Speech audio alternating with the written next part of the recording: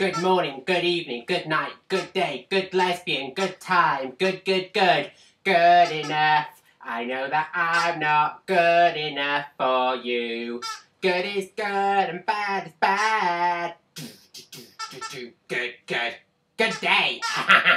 Hello, everyone. Hello, Fanny fans. Hello, X Factor fans. Welcome again to another um, special edition, special edition, special edition, special edition of your favourite internet TV show, The Fanny Factor! Yeah, yeah, yeah, yeah. It's me, Fanny Loveless, as always, here with all the good X Factor news and goss. Wow, what a fucking couple of weeks it's been. Okay, guys, bear with me. So, two weeks ago, we have the shocking, shocking, shocking, shocking revelation that Dan, Dan, Dan, Dannii Minogue, Dannii Minogue, Dannii Minogue will not be back for the X Factor this year. Ah, ah, Dannii Minogue's not going to come back for the X Factor this year. Ah, I mean, allegedly, she claims that it's all to do with some like fucking shitty Australians got talent. Australia's got talent. I mean, we all know Australia hasn't got fucking talent. I mean, I don't even watch Britain's got fucking talent, but Australia's got talent. What a fucking joke. Ah, Australia's got talent. No, it fucking hasn't got talent left. Anyway, yeah, so Australia's got talent, so she claims. But really, I reckon there's something else at work here. Ooh, ooh, something else at work. What do you reckon? Hmm, well, I don't know about this. Right, so anyway, I mean, Dannii, I mean, I really like Dannii. I mean, don't get me wrong, she's a bit of a stupid Botox face.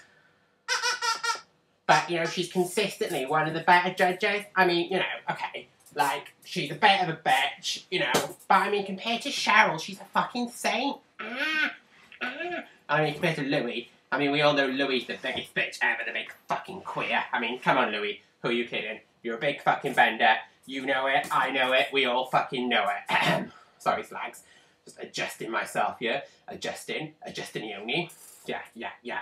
So anyway, I mean, so it was like, okay, so Dannii's gone, So we all know that Simon and Sharon went off to America and they're not be it this year. So it's like, well, so it's just fucking Louis. I mean, who gives a fucking care about Louis, for fuck's sake? What a fucking joke. Anyway, although he's always got consistently had the best acts like Jedward and Wagner, they never get very far in the competition, do they? For fuck's sake.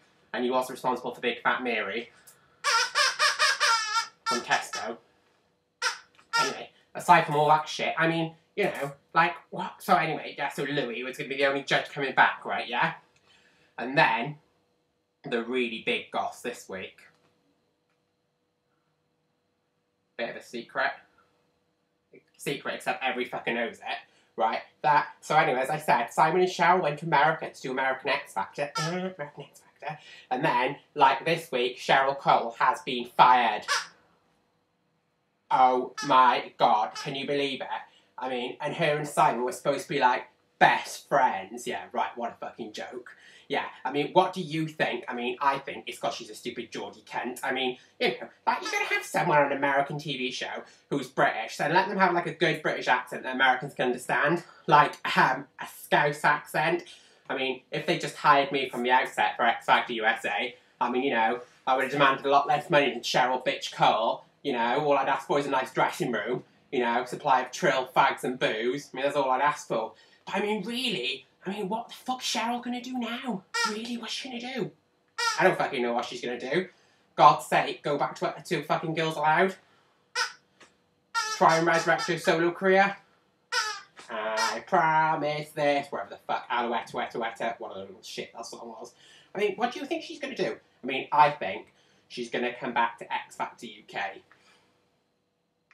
Or do I? Because the thing is, it'll be a bit like, yeah, I'm on X Factor UK, but it's I got fucking fired from X Factor USA, might make her look like a bit of a stupid cunt. I mean, what do you think, guys? Well, come on, tell me what you fucking think.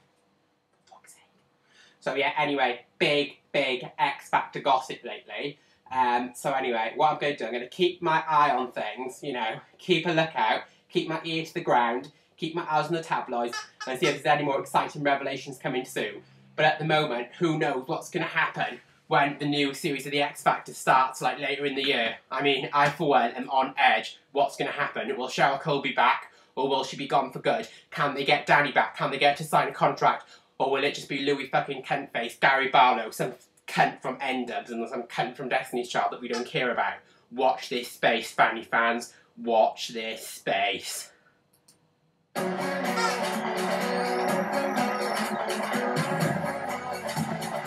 Fanny.